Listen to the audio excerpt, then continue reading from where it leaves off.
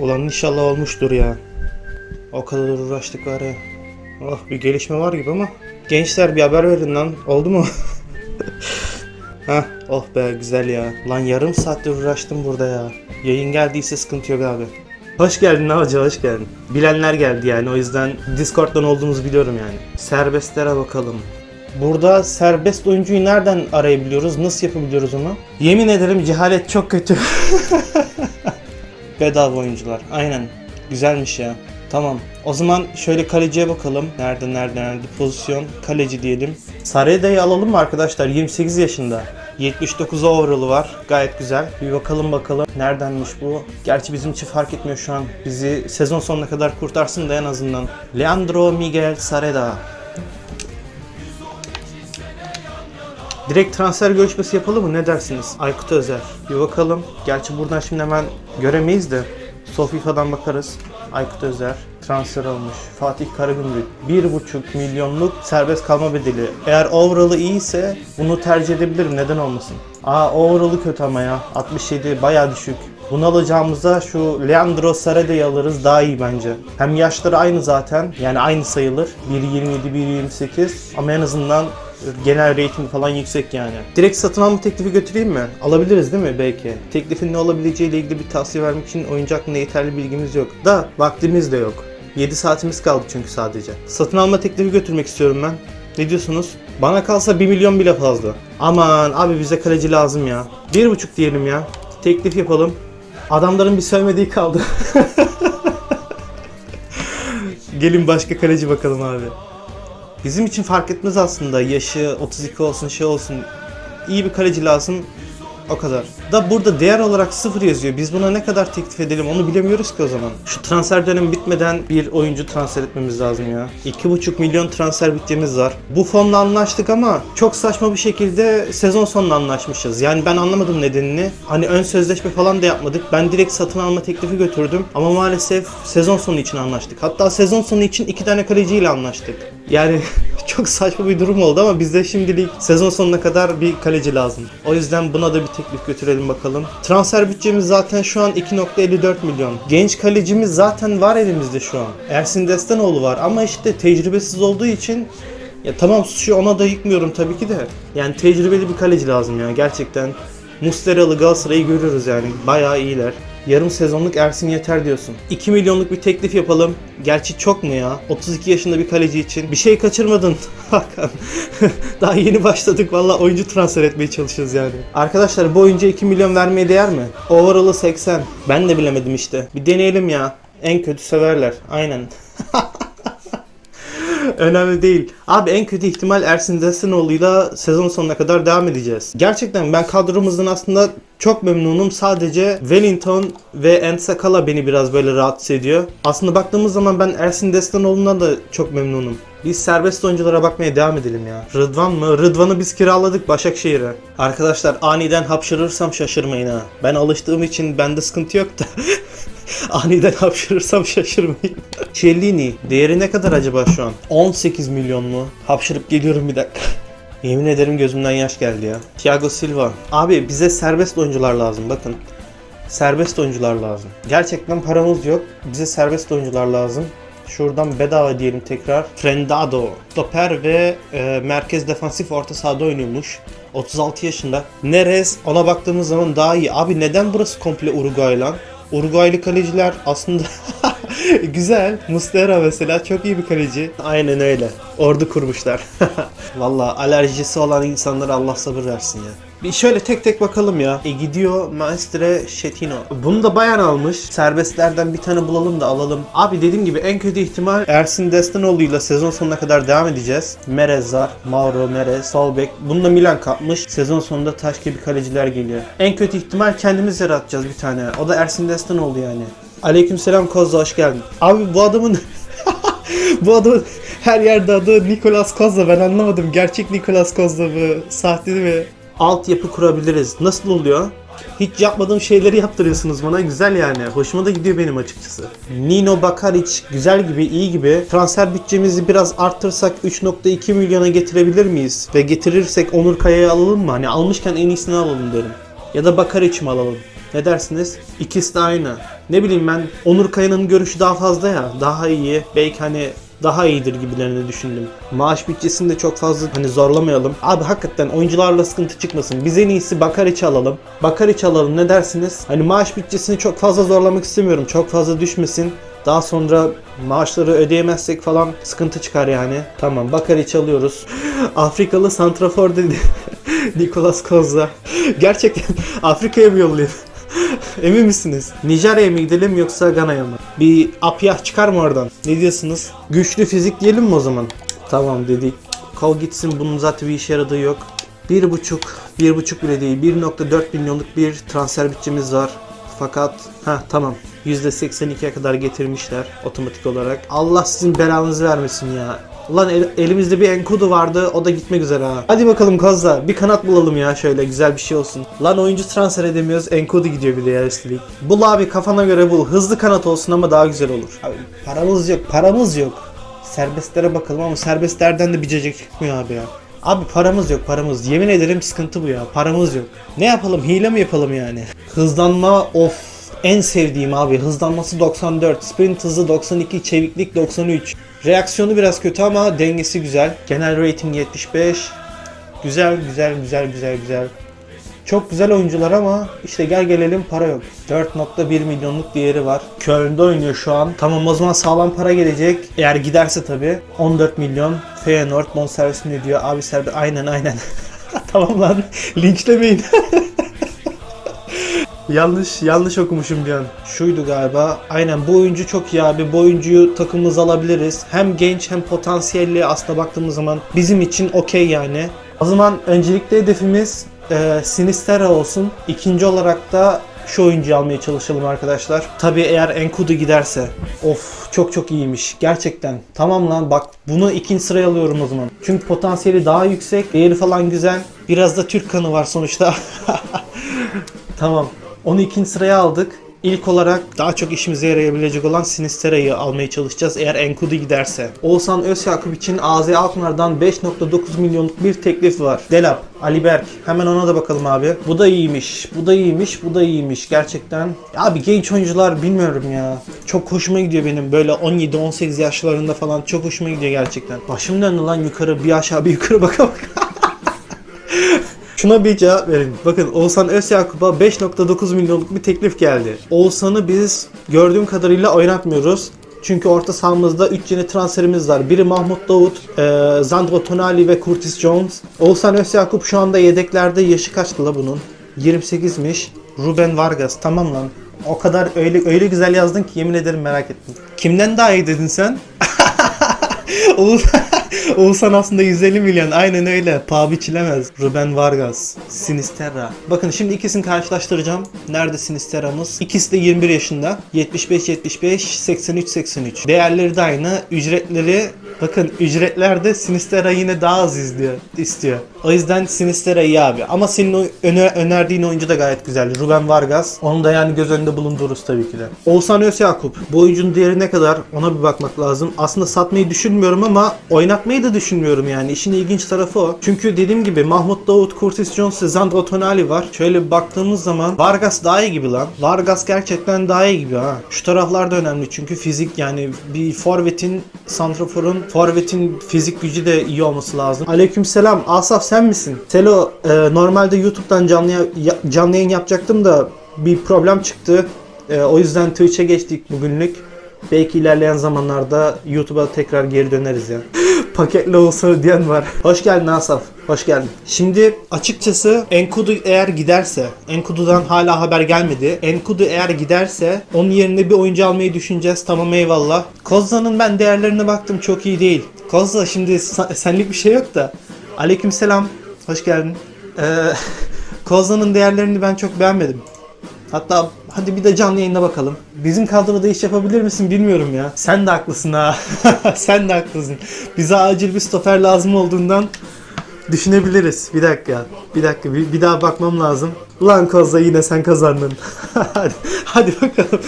Takas düşünmüyorlarmış. 3, 3 milyonluk bir teklif istiyorlar. Oha sonraki satıştan %11 pay istiyorlar bir de. Şimdi durduk yere transfer bütçesinde de hani eksiğe girmemek lazım. Abi para yok ya. Para yok. Gerçekten para yok. Bu kalsın. Görüşmeyi sonlandır diyelim.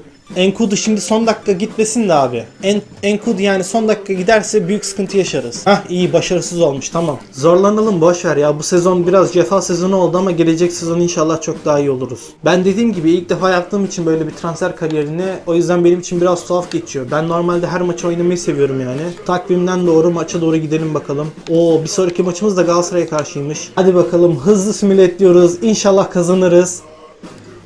2-0 mağlup olduk. Ya neyse. Getson ve Falcao'nun attığı gollerle 2-0 mağlup olduk. Nasıl oynamışlar? Her yani hem ofansif hem de defansif olarak dengeli oynamışlar. Biz de mi dengeli oynasak ya? Aga be, aynen öyle. Aga be. Evet, Türkiye Kupası'nda Kasımpaşa'ya karşı oynayacağız. Çeyrek final mücadelesi. Sadece o hızlı oyun kuru bir değiştirsek galiba iyi olur. Ama aslında bizim diziliş yani bizim dizilişe göre hızlı oyun kur gayet iyi gibi. Direkt ay sonuna gitme. Emin misiniz? Hiç uğraşmayalım mı? Direkt ay sonuna mı gidelim? Tamam lan siz istediniz. Bakın Türkmen gitmeyelim diyor. Gidelim mi gitmeyelim mi? Kısaca bir yazın hemen ona göre davranacağım. Ayın birine git. Heyecanlı olur kendimizi yaparsak. Gidelim diyelim ya. Biraz hızlı ilerleyelim. 3-1 kazandık. 2-1 mağlup olduk. 2-0 kazandık. Zaten çoğunlukta gidelim demiş. Ve Gaziantep maçında ne yaptık lan? 2-1 galip geldik. Güzel, güzel, güzel, güzel. Tamam, Nino Bakaric. Güzel oyuncular bulmuş bize. Potansiyeli 85 olan bir futbolcu var burada. Edward Rumfa. Potansiyeli 94 olan bir futbolcu var burada. Bunları böyle istediğimiz gibi direkt alabiliyor muyuz acaba? Değeri 220 milyon. Şey, oha çüş. 200... 220 milyon mu? Oğlum Neymar'ı mı alıyoruz lan? 220 bin euro. Bunu alalım. Neredeydi o? Seni de alalım. Seni de alalım abi. Bir de neredeydi o? Bir de seni alalım. Bir ayda aylık mı simüle edelim sürekli? Öyle mi istiyorsunuz? Benim için fark etmez. Maç maç da ilerleyebiliriz. Aylık da simüle edebiliriz yani. Sıkıntı yok. Asaf simüle edelim diyor. Kozla simüle edelim diyor. Daha hızlı ilerliyoruz. Daha güzel oluyor. Aslında baktığımız zaman da siz ne kadar keyif alıyorsunuz tabii o önemli benim için. Buraya kadar simüle edelim o zaman. Trabzon maçında hızlı simüle edelim. Gerçi ne anlamı kalıyor ki aynı şey. Ha doğru lan altyapı oyuncularını geliştirmemiz lazım. Bence en kötü alan hani en kötü oldukları yerleri geliştirsinler önce bence. Defans, dribbling ve pas özelliklerini geliştirsin abi bu oyuncu. Hızlı hızlı geçelim buraları istiyorsunuz. Açık bekleyelim buna da. Şöyle her şeyden biraz. Defansif oyun kurucu aynen. Açık oyun kurucu en uygunu gibi. Evet bu kalsın. Abi kirala bence çıkartıp sen oyuncuları çıkartmazsan başkaları keşfedip altyapı oyuncularını alıyor. Bir yıl oynamayacak zaten orada gelişir. 18 yaş... E, on, on, on, lan ne oldu? Takıldım ya. 15 yaşında bir oyuncu var burada. Potansiyeli 93 ve 94 olan futbolcularda benim gözüm var aslında baktığımız zaman. A takımı yükseltmenin bir mantığı yok değil mi bunları? Yoksa yükseltelim mi? Hani belki forma şansı falan bulurlar en azından. Bizde değil de başka taraflarda, başka takımlarda. Tamam yükseltmeyelim o zaman. Neyse arkadaşlar ay sonuna daha doğrusu ay başına kadar simüle edelim bakalım. Aynen Koza aynı düşüncedeyim gerçekten. Yani 60 olursa eyvallah ama 48 ne ya? 48 çok düşük abi ya. Trabzon bayağı bir fark atmış abi. 8 puanlık bir fark var. 13 beraberlik almışız ya. 13 beraberlik almışız. İlk 5'e girmemiz zaten lazım. En azından bir Avrupa gelmesi lazım. Böyle bir bakalım puan farkı ne kadar? İlk 5 ile 7 puan fark var. Çok ya çok. Ama bakalım bir çaresini bulacağız. Bunlara sürekli farklı gelişim planları mı? 7'de kapanır 17'de. Güzel oyuncular var. Şöyle yavaş yavaş geçeceğim hepsini. Bu oyuncunun ben potansiyele bakıyorum genelde de 74 potansiyeli var. 73, 90 çok iyi. Direkt alalım abi hiç uğraşmayalım. 64 falan bunlar düşük. Ve 91 var bir tane 15 yaşında. Seni de alalım. Uzatmanın anlamı yok. Çık. Onlara gelişim verme reis. Hepsi balon. Vallahi deneyeceğiz şansımızı. Yapacak bir şey yok. Mesela bunun pası rezalet. Pasını geliştirsin. Örneğin yeni bir Mbappe yaratabiliriz yani. Neden olmasın? Mbappe de çok hızlı mesela. El Mbappe ne lan? ya Rabbi ya Resulallah. Allah'ım ya Rabbim. O zaman buna dokunmayalım ya. Ee, bir sonraki ayın başına kadar şöyle simüle edelim bakalım. 1-0 galip geldik Fatih Karagümrük karşısında. Yeni Malatya'ya karşı 2-0 galip geldik. Konya deplasmanında bakalım ne yapacağız. 5-1 galip geldik. Fenerbahçe karşılaşmasında kupada 3-0 galip geldik. Çok güzel gidiyoruz maşallah. Derken Göztepe'ye karşı 1-0 yenildik. Ee, güzel. Bu ayağımı güzel kapattık. Fenerbahçe ile aramızdaki puan farkı 4'e inmiş. Üstelik bizim bir maçımız eksik. Gerçekten öyle oldu Asaf ya. Gerçekten öyle oldu Asaf ya. Çok ya yemin ederim ne zaman var ya desem ki o müthiş gidiyoruz. Hemen bir şey oluyor orada. 4'te kapanır 14'te inşallah. Bakalım Trabzon of Trabzon 14 puan fark atmış en yakın rakibine ve bir dakika lan 5 maç kaldı zaten. Artık Trabzon şampiyon diyebiliriz yani. Bir sonraki maçta galip gelmeleri hatta berabere kalmaları bile yetiyor. Rozier'ın kiralama süresi bitiyormuş. Senegal'in bağrından kopmuşlar. Para lazım gençlere biraz saygı Oyunculara teklifler falan var ama bizi şimdilik ilgilendirmiyor abi. Şimdilik yani. Bir bu var. Alalım direkt. Bir de bu var abi. Sezon sonuna gidelim ve artık yayınımızın da sonuna gelelim yavaş yavaş. 2-1 galip geldik, 1-0 galip geldik, 4-1 galip geldik. İnşallah en azından ilk 5'e girebiliriz. 3-1 galip geldik, 2-1 mağlup olduk ama tur atlayan tarafız. E, Denizli'ye karşı da 3-0 galip geldik. Şimdi kupada bir final olması lazım. Aynen. Of Trabzon. Finalde rakibimiz Trabzon oldu. Abi Trabzon Süper Lig şampiyonu ya. Yani görmedim ama %99 şampiyon oldular. Hakikaten abi bakalım şu an ligde durum ne? İyi. Ligi dördüncü bitirmişiz. Gayet güzel. Final maçını oynamayacağız abi. Final maçını oynamayacağız. Ligde şu an dördüncüyüz Koza. Gol kralı aynen ona da bir bakalım. Abdülkadir Ömür oynadığı 6 maçta attığı 4 golle zirvede. Süper Lig'de ise Abu Bakar. Hey maşallah be. 39 maçta oynamış, 21 gol atmış adam. Gol kralı olmuş Süper Lig'de.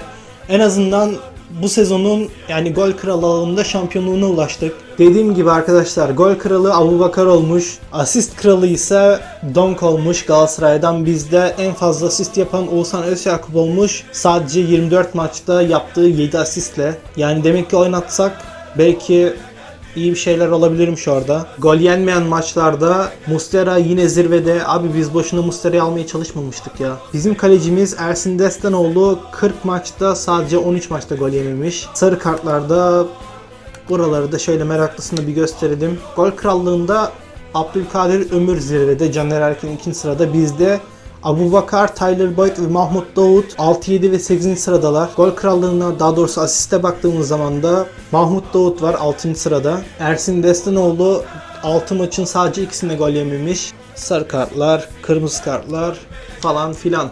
Abu Bakar 26 gol atmış. Toplam oynadığı 50 maçta. Abu Bakar toplam 50 maçta 26 gol atmış, 2 asist yapmış. Tyler Boyd 12 gol atmış.